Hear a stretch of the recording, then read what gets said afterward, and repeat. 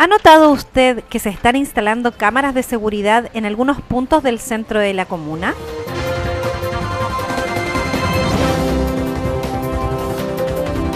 Estas corresponden al proyecto del Club Deportivo La Cantera, que fue postulado y adjudicado por esta institución por fondos del 2% de seguridad pública.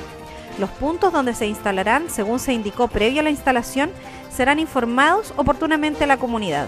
Según trascendió, el municipio se hará cargo de la conexión eléctrica y dentro de las especificaciones técnicas de cada cámara tienen un alcance de 30 metros, Full HD de visión.